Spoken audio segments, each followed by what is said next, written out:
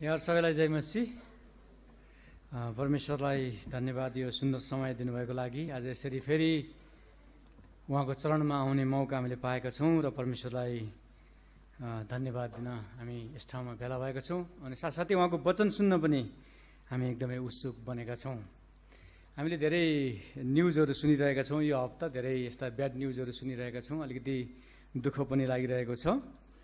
जो आज हामी यस मण्डली भवनमा परमेश्वरलाई धन्यवाद दिनको निम्ति आराधना गर्नको निम्ति यस ठाउँमा भेला भएका छौँ र परमेश्वरको वचन सुन्नको निम्ति पनि हामी यहाँ आएका छौँ। कि हामी सबैजनाले परमेश्वरको इच्छा मेरो निम्ति के होला भनेर कहिले विचार गरेका छौँ? धेरैले हामीले परमेश्वरको इच्छा के हो भनेर विचार गरिरहेका छैनौँ। कि कुनै विश्वासीले मेरो जीवनमा परमेश्वरको इच्छा चाहिँ अलि कठिन प्रकारको अलिकति गाह्रो अनि मैले पुरा गर्न पनि अलि नसक्ने प्रकारको होस् भनेर के कहिले उसले सोचेको हुन्छ अथवा विचार गरेको हुन्छ? कि हामीले कतिपटक चाहिँ हाम्रो जीवनमा यस्ता यस्ता परीक्षाहरू पनि आउँछन्। हामी दुःखको बाटो भएर जानुपर्छ समस्याको बाटो भएर जानुपर्छ अप्ठ्याराहरूबाट भएर जानुपर्छ यस्ता यस्ता कुराहरू पनि आउँछन्। तर ती परिस्थितिहरूमा पनि हामी हाँस्न सक्नुपर्छ खुसी हुन सक्नुपर्छ आनन्दित हुनुपर्छ भनेर के हामीले कहिल्यै विचार गरेका छौँ? खासमा परमेश्वरले हामी विश्वासीहरूले के गरेको वा भएको चाहनुहुन्छ अथवा अपेक्षा गर्नुहुन्छ भनेर धेरै कम व्यक्तिहरूले मात्रै विचार गर्छौँ। परमेश्वरको साँचो जन त्यही हो जसले परमेश्वरको इच्छा खोज्छ र उहाँको इच्छा पुरा गर्ने कुराहरूमा अग्रसर हुन्छ। अनि आज म यसै सम्बन्धमा तपाईँहरूको अगाडि केही कुराहरू राख्न गइरहेको छु। आज खण्ड चाहिँ मैले एकदमै छोटो छानेको छु अनि बिचबाट छानेको छु। अनि तर पनि यो अलिकति लामै नै हुने सम्भावना छ। त्यस कारणले गर्दाखेरि यहाँहरू सबैलाई म पहिलो थेस्लोनिकी पाँच अध्याय पल्टाउन चाहन्छु। पहिलो थिस्लो थिस्लोनिकी पाँच अध्यायको हामी सोह्र सत्र र अठार पद हामी हेर्नेछौँ। The book of first Thessalonians chapter five verses sixteen through eighteen हामी पहिलो थिस्लोनिकी पाँच अध्यायको सोह्र सत्र र अठार पद हामी हेर्नेछौँ। यहाँहरू सबैले पाउनुभयोहरूले यहाँहरू सबैको निम्ति म पढ्नेछु यहाँ तपाईँले स्क्रिनमा पनि देख्न सक्नुहुन्छ। यहाँ यसरी लेखिएको छ सधैँ आनन्दित रहो निरन्तर प्रार्थना गरिरहो सबै परिस्थितिमा धन्यवाद दियो किनकि ख्रिस्ट येसुमा तिमीहरूका लागि परमेश्वरको इच्छा यही हो। आमेन। परमेश्वरले आफ्नो वचन पढाएर सुनाएमा हामी सबैलाई आशिष दिनुभएको होस् आउनुहोस् हामी सानो प्रार्थना गर्नेछौँ। प्रभु आज बिहान हामी तपाईँ प्रभुको चरणमा आएका छौँ। हामी जस्तो छौँ त्यस्तै तपाईँको चरणमा आएका छौँ। तपाईँ प्रभु अचम्मको काम गर्ने परमेश्वर तपाईँ नै हुनुहुन्छ। अनि तपाईँ प्रभुले आजको दिन हामीलाई दिनुभएर यसरी त प्रभुको चरणमा ल्याउनु भएको छ हामी तपाईँ प्रभुको आराधना गर्न तपाईँको वचन सुन्नको निम्ति यस ठाउँमा भेला भएका छौँ जसै हामी त प्रभुको वचन अब सुन्न गइरहेका छौँ। पवित्र आत्मा परमेश्वर तपाईँ हामीसँग बोल्नुहोस् तपाईँको आत्माले हामीलाई डोर्याउनुहोस् र जुन वचन आज तपाईँ परमेश्वर बोल्दै हुनुहुन्छ अनि त्यसले हाम्रो जीवनमा बदलाउ ल्याउन सकेको होस् त्यसले हाम्रो जीवनमा परिवर्तन ल्याउन सकेको होस्। र तपाईँ प्रभुले आज जुन वचन हामीलाई देखाउँदै हुनुहुन्छ अनि त्यो वचन अनुसारको जीवन जिउने व्यक्ति हामीलाई बनाउनुहोस् भनिकन हाम्रो बिन्ती अनि प्रार्थना छ। त प्रभुलाई आजको दिन यो सुन्दर समय र सबै कुराको लागि धन्यवाद दिँदै बाँकी समय प्रभु तपाईँको आत्मसमर्पण गर्दै सारा बिन्ती प्रार्थना धन्यवाद चढाउँछौँ येसु प्रभुको नाउँमा। आमेन। आजको वचनको शीर्षक मैले राखेको छु परमेश्वरको इच्छा पुरा गर्न इच्छुक हुनु। परमेश्वरको इच्छा पुरा गर्न इच्छुक हुनु। Willing to fulfill the will of God willing to fulfill the will of God परमेश्वरको इच्छा पुरा गर्नको निम्ति इच्छुक हुनु। परमेश्वरको इच्छा तपाईँ र मेरो जीवनमा छ। तपाईँ र मलाई परमेश्वरले चुन्नुको मतलब तपाईँ र मलाई परमेश्वरले उहाँको राज्यमा बोलाउनुको मतलब तपाईँ र मलाई उहाँको राज्यमा यसरी राख्नुको मतलब उहाँको केही उद्देश्य छ केही योजना छ र उहाँको केही इच्छा पनि छ। अनि त्यो चाहिँ तपाईँ र मैले पुरा गरेको परमेश्वर चाहनुहुन्छ। अब हामीले यहाँनिर विशेष गरिकन यो पहिलो कि चार अध्यायमा हेर्दाखेरि अनि पाँच अध्यायको सुरुमा हेर्दाखेरि यहाँनिर दोस्रो आगमनको बारे बारेमा अनि विशेष गरिकन ऱ्याप्चरको बारेमा नि कुराकानी गरिएको छ। अनि मण्डली उठाइ लगिने बारेमा साथसाथै उहाँ उहाँको आगमनको बारेमा कुराकानी गरिएको छ। अनि त्यस पछाडि गएर बाह्रदेखि तल हेर्दाखेरि पनि त्यहाँनिर आखिरी शिक्षा भनेर अनि अगुवाहरूको आदर गर्नु उनीहरूलाई उच्च ठान्नु सम्मान गर्नु भन्ने कुराहरू भनिएको छ। अनि अल्छेहरूलाई चेतावनी दिने अनि त्यस पछाडि गएर जो दुःखमा छन् पीडामा छन् समस्यामा छन् अनि तिनीहरूलाई दिलासा दिने भन्ने कुराहरू गरिसके पछाडि अनि यहाँनिर सोह्र सत्र र अठार पदमा विशेष तिनवटा कुराहरू भनिएको छ अनि यिनै तिनवटा कुराहरू आज तपाईँहरूको अगाडि राख्न गइरहेको छ। अनि पहिलो कुरा चाहिँ हामी यहाँ सोह्र पदमा के देख्छौँ त भन्दाखेरि सधैँ आनन्दित रहने कुराहरू यहाँ गरिएको छ।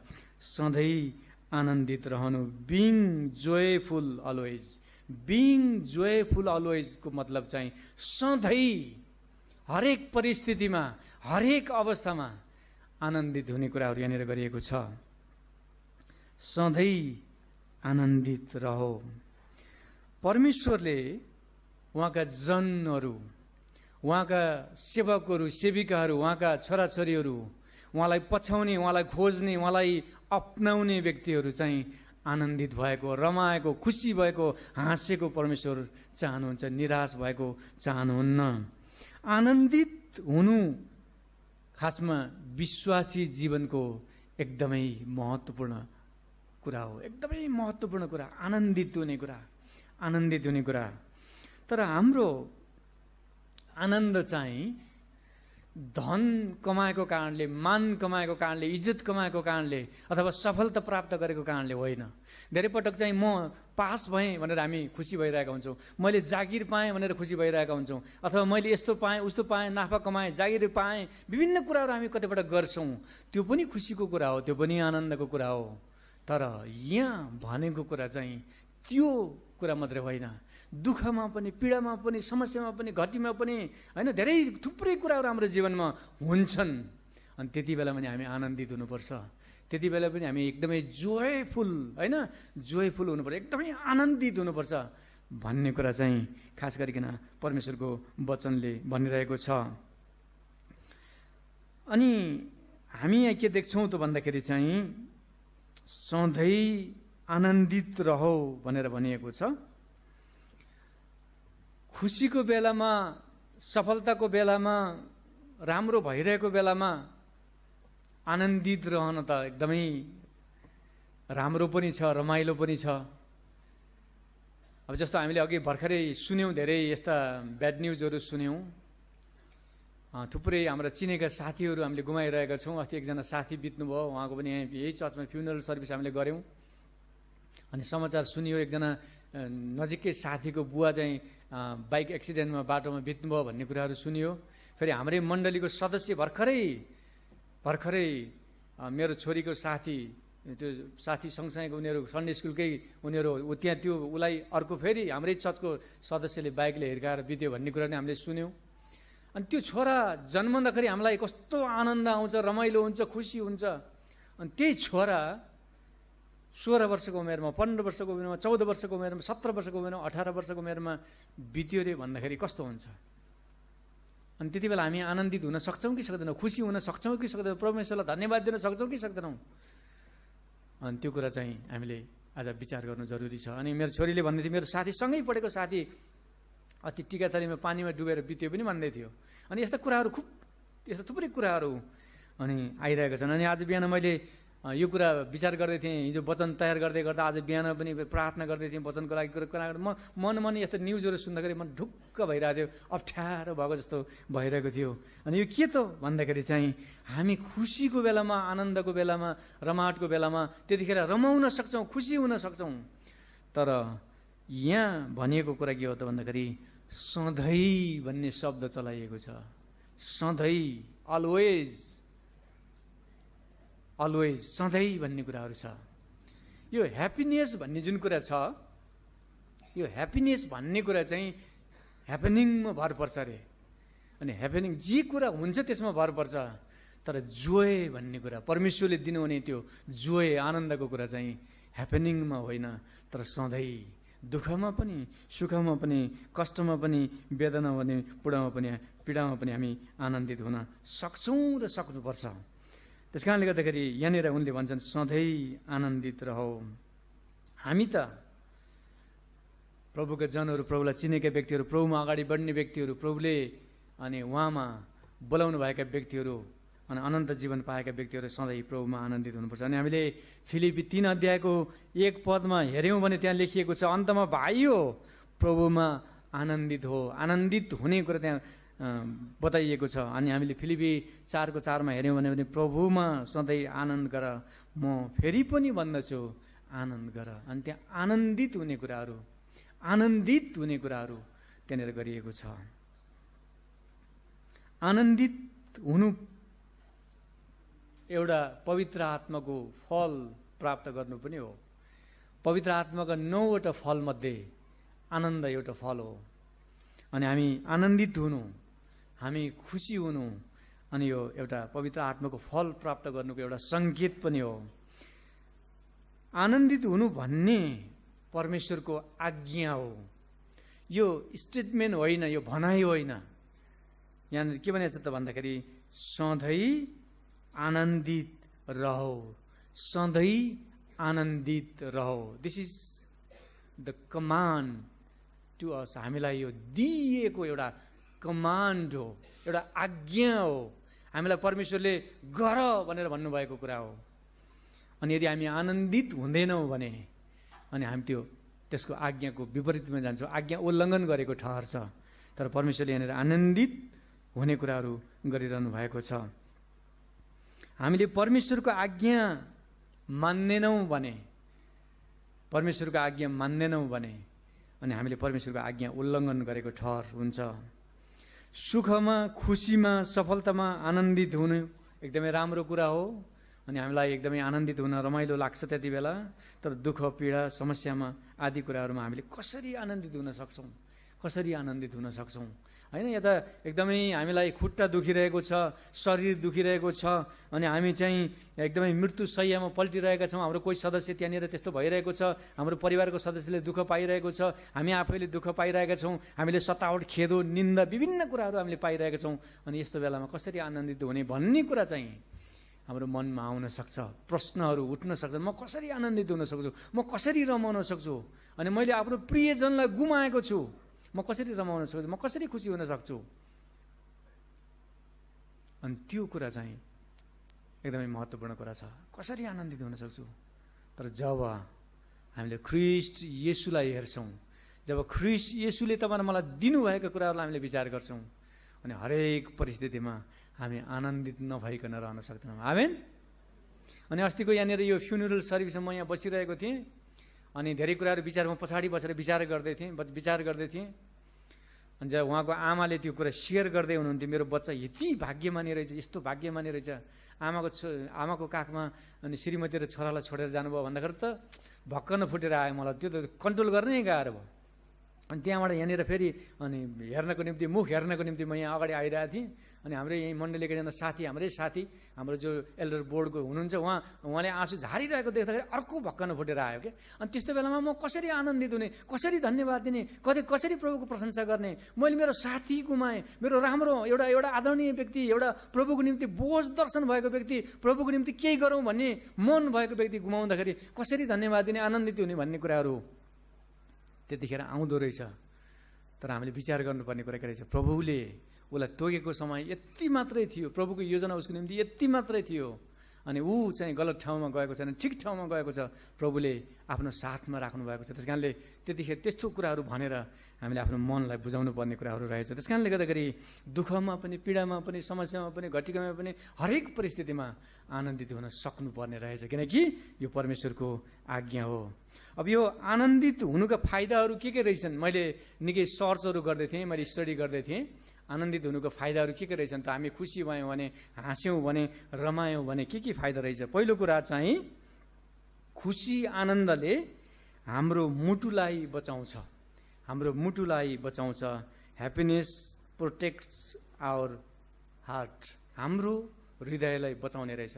हामी दुखी न्यास्रो भएर बस्यौँ भने अनि हाम्रो मुटुमा ह्याम्पर पर्दो रहेछ एकदमै ब्लड प्रेसर हाई हुन्छ अनि त्यस पछाडि हामी अनि बिस्तारै बिस्तारै हाम्रो मुटुमा समस्या आउँदो रहेछ अनि हामी खुसी भयौँ भने हाम्रो मुटुलाई बचाउने रहेछ। अनि अर्को कुरा चाहिँ खुसी आनन्दले हाम्रो पाचन प्राणीलाई बलियो बनाउँछ। Happiness strengthens our immune system हाम्रो इम्युन सिस्टमलाई यसले के गर्छ त भन्दाखेरि चाहिँ यसले बलियो बनाउँछ। हामी निराश भएर बस्यौँ भने अनि एकदमै स्ट्रेसमा रह्यौँ भने अनि हाम्रो शरीरले हाम्रो पेटले अनि त्यो खास गरिकन एसिडिटी फर्म गर्छ त्यहाँनिर अनि एसिडिटी बढेपछि ग्यास्ट्रिक हुन्छ अनि त्यस पछाडि गएर अनि हामीलाई धेरै समस्या हुन्छ। अनि हामी खुसी भयौँ आनन्दित भयौँ रमायौँ भनेदेखि हामी स्ट्रेसमा रहेनौँ भनेदेखि अनि के हुँदो रहेछ त भन्दाखेरि हाम्रो इम्युन सिस्टमलाई पनि हाम्रो पाचन प्रणालीलाई पनि यसले बचाउने काम यसलाई चाहिँ बलियो पार्ने काम चाहिँ गर्दो रहेछ। अनि अर्को कुरा चाहिँ अनि खुसी आनन्दले तनाव कम गर्छ अथवा तनावसँग जुन हामीले सङ्घर्ष गर्छौँ त्यो सङ्घर्ष गर्ने कुरालाई कम गर्दो रहेछ अथवा त्यसलाई हटाउने काम गर्दो रहेछ। ह्याप्पिनेस कम्ब्याट्स स्ट्रेस अनि यो ह्याप्पिनेसले यो खुसी आनन्दको कुराले चाहिँ हाम्रो तनावलाई कम गराउने काम गर्दो रहेछ। खुसी आनन्दले रोग बिमार र अशक्तपनलाई कम गर्छ। Happiness combats disease and disability अनि हाम्रो डिसेबिलिटी र डिजिजलाई रोगहरूलाई चाहिँ यसले कम्ब्याट्स गर्ने यसले अलिकति त्योसँग सङ्घर्ष गर्ने कुरा अनि त्यसलाई कम पार्ने कुराहरू गर्दो रहेछ। अनि अर्को कुरा खुसी आनन्दले हाम्रो आयु बढाउँदो रहेछ। जब हामी खुसी हुन्छौँ आनन्दित हुन्छौँ रमाउँछौँ भने त्यसले हाम्रो आयु पनि बढाउने रहेछ। ह्याप्पिनेस लेन्थेन्स आवर लाइफ्स हाम्रो आयुलाई लामो बनाउने हामी बढी बाँच्न चाहन्छौँ भने खुसी र आनन्दित हुनुपर्ने रहेछ। त्यस कारणले गर्दाखेरि यदि हामीले स्वास्थ्यको दृष्टिकोणले हेऱ्यौँ भने पनि हामी हाँस्नुको हामी रमाउनुको हामी खुसी हुनुको त्यसको थुप्रै फाइदा छ भने हामीमा प्रभुमा भएका व्यक्तिहरू त दुःखमा पनि पीडामा पनि समस्यामा पनि घटेकोमा पनि अप्ठ्यारोमा पनि रमाउन सक्यौँ भने परमेश्वरले त्यस कुराहरूबाट महिमा लिनुहुन्छ। आमेन। त्यस कारणले गर्दा हामी सधैँ हरेक परिस्थितिमा रमाउँदै प्रभुको महिमा गर्दै अगाडि बढ्नुपर्छ। यस कारणले गर्दाखेरि हामी सधैँ प्रभुमा आनन्दित हुनेछौँ। अब दोस्रो कुरा हामी सत्र पदमा हेर्छौँ। दोस्रो कुरा चाहिँ हामी के देख्छौँ त भन्दाखेरि निरन्तर प्रार्थना गर्नु। प्रेइङ रेगुलरली प्रेइङ रेगुलरली निरन्तर प्रार्थना गर्ने कुराहरू। यहाँ भनिएको छ निरन्तर प्रार्थना गरिरहो। यो एकदमै कन्टिन्युस फर्ममा एकदमै निरन्तर रूपमा गर्ने कुराहरू बताइएको छ। निरन्तर प्रार्थना गरिरह भन्ने शब्द यहाँनिर चलाइएको छ। यहाँ पावलले परमेश्वरसँग निरन्तर सम्बन्धमा रह। निरन्तर परमेश्वरसँगको सम्बन्धमा रह भन्ने कुराहरू गरिरहेका छन्। अनि परमेश्वरले विश्वासी जीवनका लागि दिनुभएका विशेष दुईवटा हतियारहरू छन्। अनि त्यो दुईवटा हतियारहरू के हुन् त भन्दाखेरि चाहिँ एउटा चाहिँ पवित्र आत्माको तरबार भनेर भनिएको छ।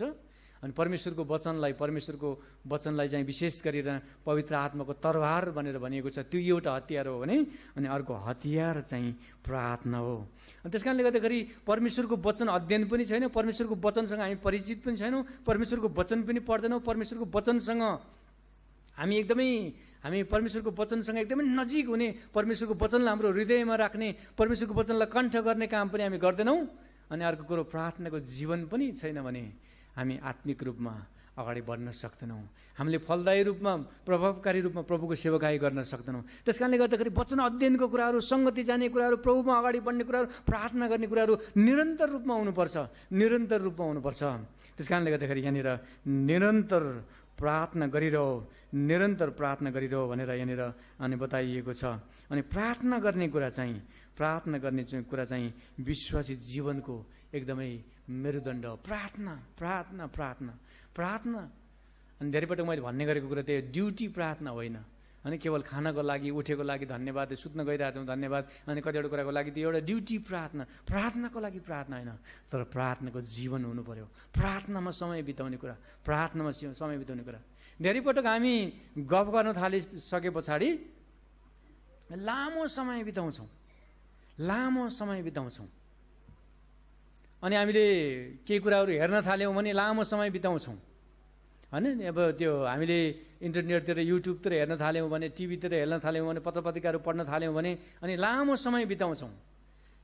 तर हामी धेरैजना व्यक्तिहरूले भन्ने गरेको कुरा के भने सङ्गति जाने फुर्सद छैन। बाइबल पढ्ने फुर्सद छैन प्रार्थना गर्ने फुर्सद छैन। जुन कुरो हाम्रो जीवनमा नभई नहुने कुराहरू हुन् जुन चाहिँ विश्वासी जीवनका मेरुदण्डहरू हुन् जुन विश्वासी जीवनका चाहिँ आधारभूत कुराहरू हुन् अनि हामी सङ्गति नै जान्दैनौँ हामी बाइबल नै पढ्दैनौँ हामी प्रार्थना नै गर्दैनौँ। अनि कसरी प्रभुमा अगाडि बढ्न सक्छौँ? कसरी प्रभुको नजिक जान सक्छौँ? कसरी हाम्रो प्रार्थनाको उत्तरहरू आउन सक्छन्? कसरी हामीले मागेका कुराहरू परमेश्वरले दिनुहुन्छ? हाम्रो प्रार्थनाको जीवन नै छैन। हामीले प्रार्थनै गर्दैनौँ। हामी परमेश्वरमै जाँदैनौँ। परमेश्वरसँगै हामीले कुरा राख्दैनौँ। परमेश्वरलाई भन्दै भन्दैनौँ अनि कसरी हाम्रो प्रार्थनाको सुनवाईहरू हुन्छन्? मलाई अचम्म लाग्ने कुरा के भने हामीलाई कुरा काट्ने फुर्सद छ। हामीलाई खुट्टा तान्ने फुर्सद छ।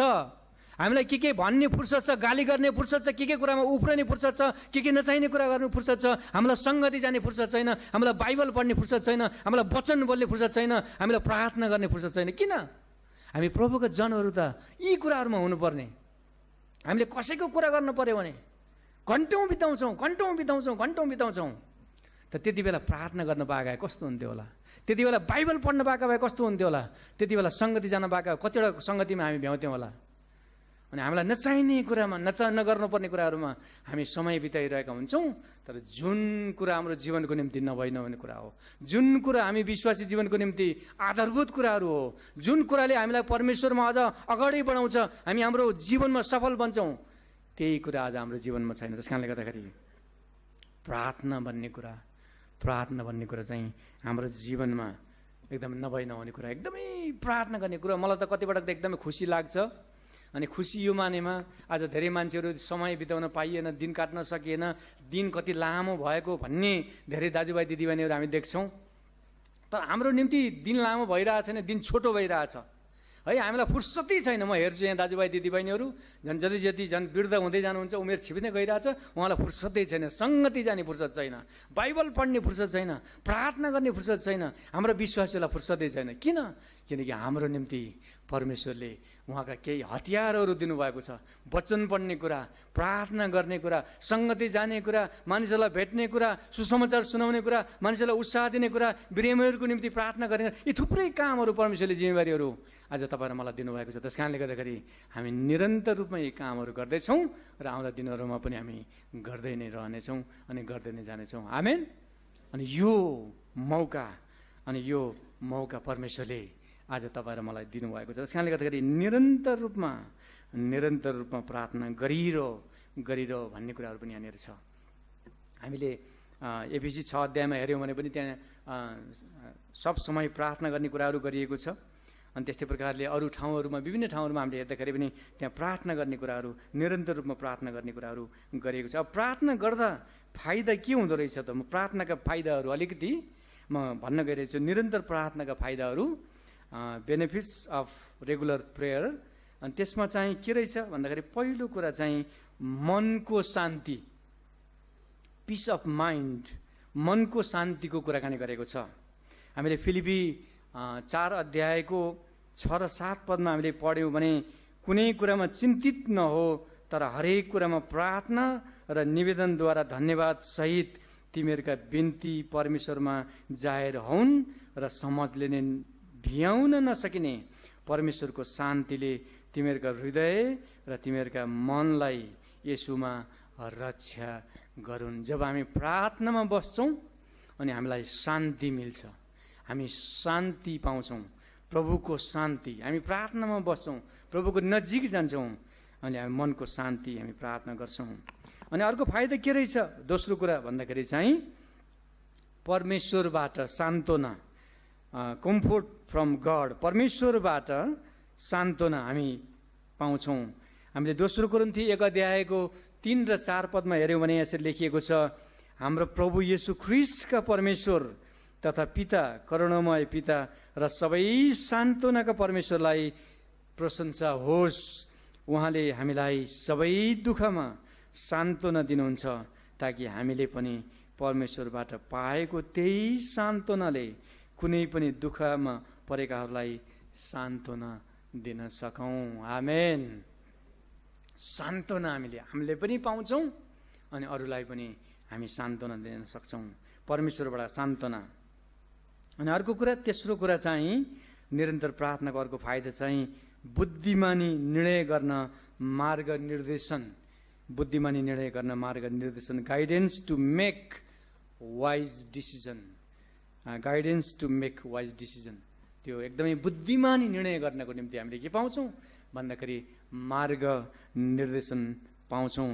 हामीले याकुब एक अध्यायको पाँच पदमा हेऱ्यौँ भने यहाँ यसरी लेखिएको छ तर यदि तिमीहरूमध्ये कसैलाई बुद्धिको अभाव छ भने उदार चित्तसँग नझर्किदिनुहुने परमेश्वरलाई त्यसले मागोस् र त्यसलाई त्यो दिइनेछ। अब मैले निर्णय गर्नु पऱ्यो के गर्नुपर्ने हो? जब हामी प्रार्थना गर्छौँ परमेश्वर कहाँ जान्छौँ परमेश्वरलाई भन्छौँ परमेश्वरलाई बिन्ती चढाउँछौँ अनि परमेश्वरले त्यो वाइज डिसिजन गर्नको निम्ति बुद्धिमानी निर्णय गर्नको निम्ति परमेश्वरले ज्ञान बुद्धि दिनुहुन्छ। त्यस कारणले गर्दाखेरि हामी निरन्तर रूपमा प्रार्थना गर्नुपर्छ। अनि अर्को कुरा चौथो कुरा चाहिँ परीक्षाबाट बच्न सहायता परीक्षाबाट बाँच्न सहायता अथवा बच्न सहायता। Help to avoid temptation help to avoid temptation अनि हामीले लुका बाइस अध्यायको चालिस पदमा हेऱ्यौँ भने यसरी लेखिएको छ तर त्यसलाई हकारेर अर्कोले जवाफ दियो तँ पनि त्यही दण्डमा परेको छस् तापनि परमेश्वरको डर मान्दैनस्। त्यहाँनिर दुईजना डाकुहरूको बिचमा यसु प्रभु हुनुहुन्छ अनि यसु प्रभुलाई झुन्ड्याइकोमा एउटाले गाली गर्छ के के भन्छ? अनि अर्कोले चाहिँ त्यति उसले पनि गाली गर्न सक्थ्यो उसलाई त्यहाँ परीक्षा आएको छ। तर उसले चाहिँ के गर्छ त भन्दाखेरि चाहिँ उसले आफ्नो साथीलाई गाली गर्छ र भन्छ यसु तपाईँ आज स्वर्गको राज्यमा हुनुहुँदाखेरि अथवा तपाईँले मलाई सम्झनुहोस् तपाईँले मलाई तपाईँसँगै लैजानुहोस् भनेर बिन्ती गर्दाखेरि अनि आज नै तिमी मसँग स्वर्गलोकमा हुनेछौ भनेर प्रभु यीशुले भन्नुभएको घटना हामी त्यहाँ देख्छौँ। भन्नुको मतलब चाहिँ परीक्षाबाट बच्नलाई हामीलाई सहायता गर्छ। विभिन्न प्रकारका परीक्षाहरू आउन सक्छन् हाम्रो जीवनमा। गर्नुपर्ने कि नगर्नुपर्ने ती परीक्षाहरू आउँदाखेरि जब हामी प्रार्थना गर्छौँ अनि प्रभुले त्यो परीक्षाबाट हामीलाई बचाउने काम गर्नुहुन्छ अनि अर्को कुरा चाहिँ पापको क्षमदान। जब हामी निरन्तर प्रार्थना गर्छौँ पापको क्षमदान हुन्छ। फर्गिभनेस अफ सिन्स पापहरूको क्षमदानका कुराहरू त्यहाँनिर छ। दोस्रो इतिहास सात अध्यायको चौध पदमा हामीले हेऱ्यौँ भने त्यहाँ लेखिएको छ। दोस्रो इतिहास सात अध्यायको चौध पदले भन्छ यदि मेरो आफ्नै नाउँ दिएको मेरो प्रजाले आफैलाई नम्र पारेर प्रार्थना गर्छ र मलाई खोजेर आफ्ना दुष्ट चालहरूबाट फर्कन्छ। तब म स्वर्गबाट तिनीहरूको प्रार्थना सुन्नेछु र तिनीहरूका पाप क्षमा गर्नेछु र तिनीहरूको देशलाई म स्वस्थ बनाउनेछु। अनि हाम्रो प्रार्थना सुन्ने कुरा अनि पापलाई क्षमा गर्ने कुरा अनि त्यस पछाडि देशलाई स्वस्थ बनाउने कुराहरू गरेको छ जब प्रार्थना गर्छौँ जब हामी प्रार्थना गर्छौँ अनि प्रभुले हाम्रा पापहरू क्षमा गर्नुहुन्छ। अनि अर्को कुरा चाहिँ अरूहरूलाई सहायता गर्ने एक उपाय अथवा बाटो अथवा मार्ग पनि भन्न सक्छौँ। Way to help others way to help others हामीले याकु पाँच अध्यायको सोह्र पदमा हेऱ्यौँ भने यसरी लेखिएको छ यसकारण तिमीहरू एक्लै अर्कोसँग आफ्ना पाप स्वीकार गर। तिमीहरू निको हुनलाई एउटाले अर्काको निम्ति प्रार्थना गर। धार्मिक मानिसको प्रार्थना शक्तिशाली र प्रभावशाली हुन्छ। जब हामी एकले अर्काको निम्ति प्रार्थना गर्छौँ अनि एकले अर्कालाई पापमा परेको भए तापनि गलत काम गरेको भए पनि उसलाई त्यहाँबाट निकाल्न सक्छौँ उसलाई बचाउन सक्छौँ उसलाई सहायता गर्न सक्छौँ अनि प्रार्थनाले हामीलाई एउटा उपाय दिन्छ एउटा बाटो दिन्छ। अनि अर्को कुरा चाहिँ अन्तिम कुरा एक उत्साह जब प्रार्थनाका उत्तरहरू आउँछन्। एक उत्साह हामीले प्रार्थ प्राप्त गर्छौँ। Encouragement when prayers are answers जब प्रार्थनाको उत्तरहरू आउँछन् हामीले उत्साह प्राप्त गर्न सक्छौँ। पहिलो राजा नौ अध्यायको तिन पदले भन्छ परमप्रभुले तिनलाई भन्नुभयो तैँले मेरो सामुन्ने चढाएको प्रार्थना र अर्ज बिन्ती मैले सुने तैँले निर्माण गरेको यस मन्दिरलाई मैले पवित्र पारेको छु र सदाको निम्ति मैले मेरो नाउँ त्यहाँ राखेको छु। मेरो नजर र मेरो हृदय त्यहाँ सधैँभरि रहनेछ। मेरो नजर र हृदय सधैँभरि त्यहाँ रहनेछ। जब हामी प्रार्थना गर्छौँ परमेश्वरको नजर र परमेश्वरको हृदय हामीमा रहिरहन्छ। आमेन? त्यस कारणले गर्दाखेरि प्रार्थना गर्ने कुरा प्रार्थना गर्ने कुरा। आज हामीले हेऱ्यौँ भने हाम्रो देशमा एकदमै स्थिति नाजुक छ। अनि मलाई एकजना साथीले सोध्दै हुनुहुन्थ्यो विदेशी साथीले के भइरहेछ त? एकदमै के भइरहेछ तिम्रो देशमा? भन्दै हुनुहुन्थ्यो। अनि मैले भने अनि हाम्रो संसदले यो एन्टी कन्भर्जन ल अथवा यो के सुसमाचार सुनाउन नपाइने भन्ने नियम कानुन चाहिँ पारित गरेको छ भनेर मैले उहाँलाई भन्दाखेरि अनि उहाँले मलाई एउटा शब्द लेख्नुभएको थियो। उहाँले एकदमै भन्नुभएको थियो सिरियस सिचुएसन भनेर उहाँले शब्द लेख्नुभएको थियो। हाम्रो देशमा चाहिँ सिरियस एकदमै सिरियस सिचुएसन छ एकदमै नाजुक अवस्था छ भनेर उहाँले मलाई लेख्नु भएको थियो। एकदम नाजुक अवस्था। भन्न नपाइने सुनाउन नपाइने प्रचार गर्न नपाइने आफ्नो विश्वासलाई उस्तै पऱ्यो भने अभ्यास पनि गर्न नपाइने भन्ने जस्तो प्रकारको कानुन बनेको छ। अनि यताबाट हेर्दा उताबाट हेर्दा जताबाट हेर्दाखेरि पनि क्रिस्चियनहरूमाथि दबाब थिचोमिचो त्यो प्रकारको कुराकानीहरू छ। हाम्रो बिदा कटौती भएको कुराहरू छ। हामीलाई हेपिएको कुराहरू छ। हामीलाई गाली गरिएको कुराहरू छ। घरबाट निकालिएको कुराहरू छ। हामी एक्लो हुनु परेको कुराहरू छ। हामी दुःखमा पीडामा पर्नु परेको कुराहरू छ। हाम्रो पक्षमा कोही नबोलेको कुराहरू छ। अब हाम्रो निम्ति उपाय भनेको के? हाम्रो निम्ति उपाय भनेको अरू केही पनि छैन। हाम्रो निम्ति एउटै उपाय हो। त्यो प्रभुलाई पुकारा गर्ने प्रार्थना गर्ने। आमेन? त्यस कारणले अब मण्डलीले प्रार्थना गर्छ हाम्रो मण्डलीले अब। अब हामी प्रार्थना गर्नेछौँ। प्रभुसँग हामी समय बिताउनेछौँ। प्रभुलाई भन्नेछौँ। हाम्रा बिन्तीहरू बिछाउनेछौँ। अब हामी नचाहिने कुरामा हामी भुल्ने छैनौँ। हामी प्रार्थनामा घुँडा टेक्नेछौँ प्रार्थनामा समय बिताउनेछौँ प्रभुसँग समय बिताउनेछौँ प्रभुलाई भन्नेछौँ हाम्रो देशको स्थिति हाम्रो परिवारको स्थिति हाम्रो घरको स्थिति हाम्रो बिमारको स्थिति हाम्रो जे जे स्थिति छ जे जे कुराहरू छन् यी सबै कुराहरू उनी हाम्रो एकमात्र जीवित परमेश्वर हाम्रो प्रार्थना सुन्नुहुने परमेश्वर हाम्रो प्रार्थनाको जवाब दिनुहुने परमेश्वरलाई ती सबै कुराहरू भन्नेछौँ हामेन त्यस कारण अब प्रार्थना अब प्रार्थना हामी गर्ने निरन्तर प्रार्थना एक दिन एकछिन होइन। हामी निरन्तर निरन्तर प्रार्थना गर्नेछौँ। थुप्रै फाइदाहरू यहाँनिर मैले तपाईँलाई बताएँ। थुप्रै फाइदा थुप्रै फाइदा। अब अब अबको समय भनेको चाहिँ एकदमै डरलाग्दो समय छ। अबको समय भनेको चाहिँ एकदमै हात हतियारको लडाइँको समय हुन लागिरहेको कुराहरू छ। अब एकदमै टेन्सन भइरहेछ संसारभरि नै अब के हुने भन्ने कुराहरू। अनि धेरै ठाउँमा क्रिस्चियनहरू सताइएका कुराहरू दुःख पाएका कुराहरू मारिएका कुराहरू छन्। अन्त धेरै ठाउँहरूमा क्रिस्चियनहरूले धेरै दुःख पाएका क्रिस्चियनहरूले मात्र होइन धेरै जनताहरूले दुःख पाइरहेको अवस्थाहरू छ। अनि धेरै मानिसहरू भागेर हिँड्नुपर्ने अवस्थाहरू छ। तपाईँले न्युज सुनिरहनु भएको होला होइन? त्यहाँनिर हाम्रो म्यानमारमा थुप्रै मानिसहरू बस्न नसकेर कोही बङ्गलादेशमा गएका छन् कतिजना नेपालमा पनि आएका छन् कतिजना अरू ठाउँहरूमा गइरहेका छन्। अनि कतिजना जाँदा जाँदै डुङ्गामा डुबेर मरेको कुराहरू छ। अनि यस्ता प्रकारका थुप्रै कुराहरू छन्। अनि यस्तो कुराहरू अब हाम्रो देशमा पनि नआउला भन्ने कुराहरू छैन। कानुन पास भइसकेको छ।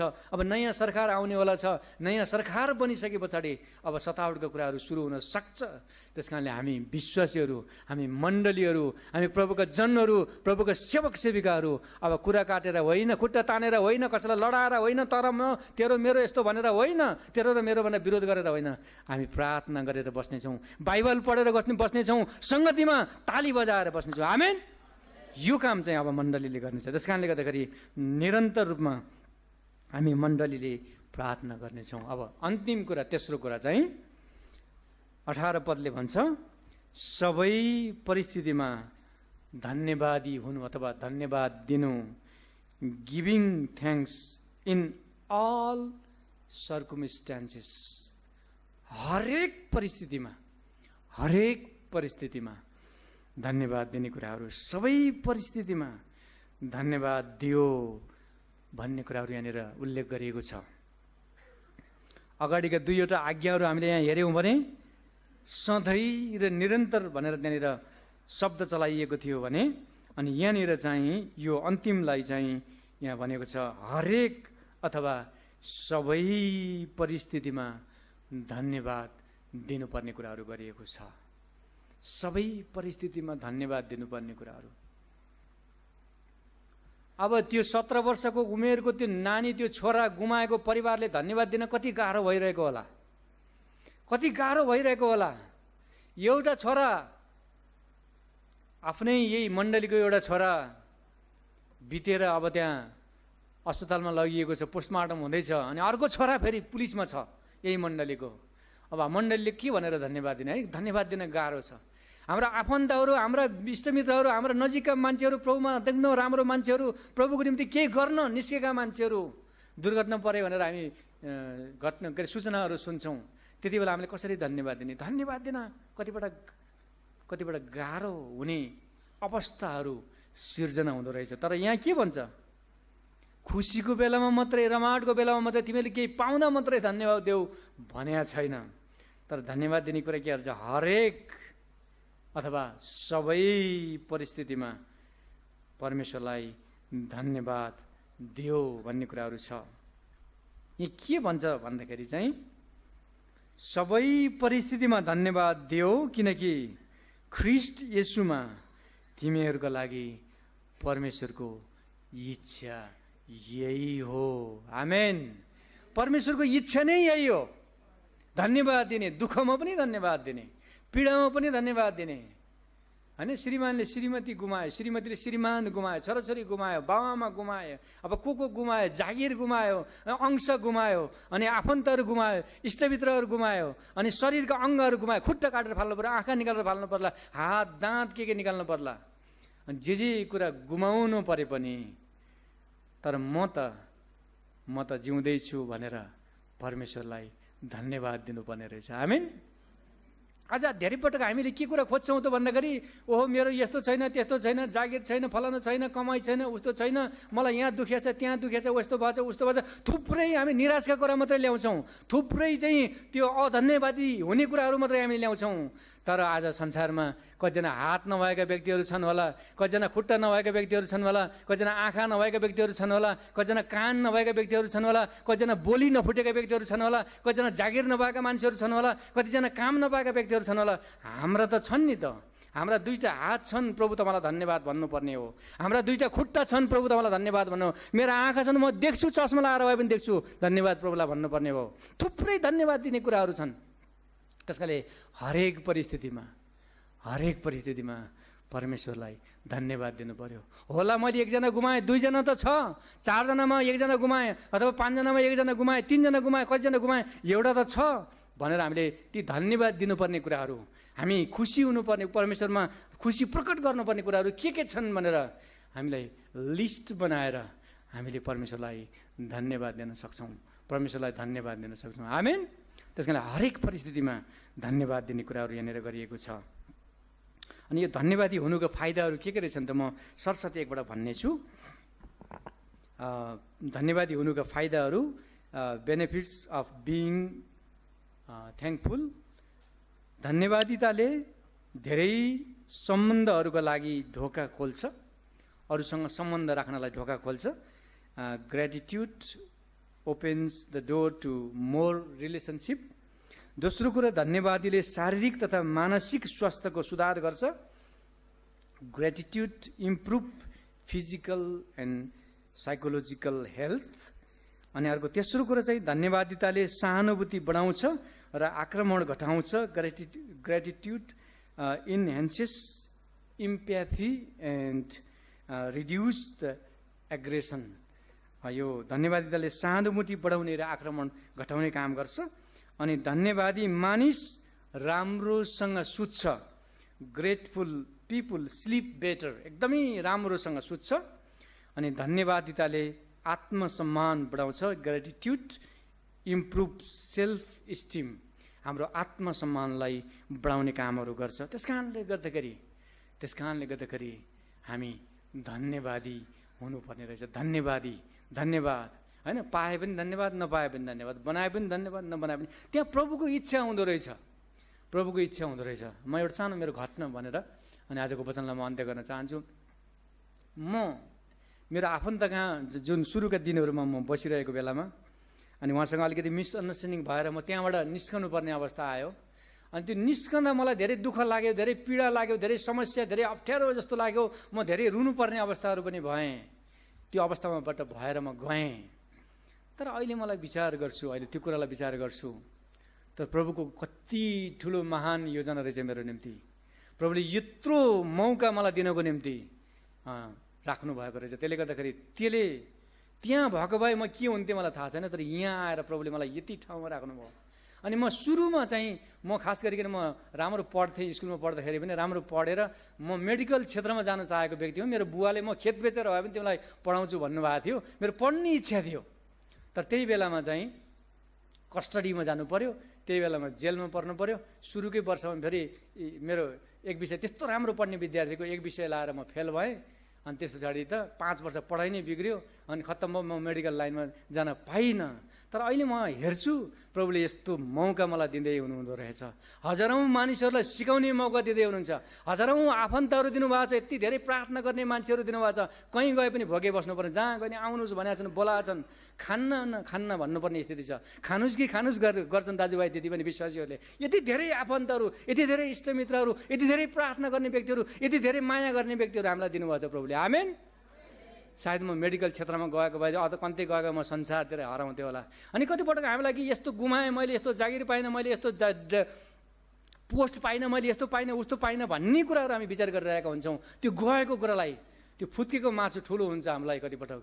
तर प्रभुले तपाईँहरू मेरो निम्ति त कुनै उद्देश्य राख्नु भएको छ योजना राख्नु भएको छ तपाईँले मेरो निम्ति कुनै उहाँको इच्छा उहाँले तपाईँले मेरो निम्ति राख्नु भएको छ हामीलाई के बनाउन चाहँदै हुनुहुन्छ के गर्न खोज्दै हुनुहुन्छ भन्ने कुरो त हामी जानिरहेका छैनौँ।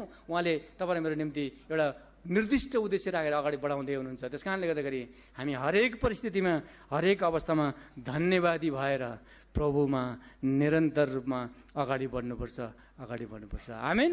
त्यस कारणले गर्दाखेरि हामी आनन्दित हुनेछौँ। सधैँ आनन्दित हुनेछौँ अनि निरन्तर प्रार्थना गर्नेछौँ अनि सबै परिस्थितिमा परमेश्वरलाई धन्यवाद दिनेछौँ। हामी विश्वासमा आएको लामो समय भइसक्यो कि हामीले सधैँ धन्यवादी हुने निरन्तर प्रार्थना गर्ने र सबै परिस्थितिमा परमेश्वरलाई धन्यवाद दिने आनन्दित हुने काम के गरेका छौँ त? यी कामहरू गर्न कतिपटक हामीलाई गाह्रो हुन्छ। तर प्रभुको इच्छा नै यस्तै हो। खासमा प्रभुको इच्छा खोज्नेहरू र उहाँको इच्छा पुरा गर्नेहरूले नै यी सबै कुरा आफ्नो दैनिक जीवनमा गर्नेछन् अथवा गर्दछन्। यस कारण अब हामीले परमेश्वरका यी विशेष तिनवटा उच्च इच्छाहरू अबको हाम्रो बाँकी जीवनमा हामीले पुरा गर्नेछौँ। हामीले पुरा गर्नेछौँ। हाल लुइया आमेन। आउनुहोस् हामी प्रार्थना गरौँ। प्रभु हामी तपाईँलाई आजको दिनको लागि यो सुन्दर समयको लागि तपाईँले दिनुभएको यो वचनको लागि तपाईँलाई साँच्चै नै धन्यवाद दिन्छौँ। तपाईँ साँच्चै नै हामीलाई निर्दिष्ट उद्देश्य राखेर तपाईँको राज्यमा बोलाउनु हुने तपाईँको सेवकाईमा नियुक्त गर्नुहुने तपाईँको काममा खटाउनु हुने प्रभु तपाईँ हुनुहुन्छ। हाम्रो जीवनमा कतिपल्ट घटी कमीहरू हुन्छन् कतिपल्ट हामीले नसोचेका विचार नगरेका कुराहरू हाम्रो जीवनमा हुन्छन् कतिपल्ट यस्ता थुप्रै कुराहरू हुन्छन्। हामी आनन्दित हुन सक्दैनौँ। कतिपल्ट हामीलाई प्रार्थना गर्न पनि मन लाग्दैन। हामीलाई धन्यवाद दिने पनि शब्दहरू नै आउँदैनन्। तर तपाईँको इच्छा हाम्रो निम्ति यही छ। त्यसैले हामीलाई निरन्तर प्रार्थना गर्ने निरन्तर एकदमै धन्यवादी हुने सधैँ सबै परिस्थितिमा धन्यवाद हुने आनन्दित हुने रमाउने खुसी हुने र प्रभु तपाईँको महिमा गर्ने छोराछोरी हामीलाई बनाउनुहोस् भनिकन।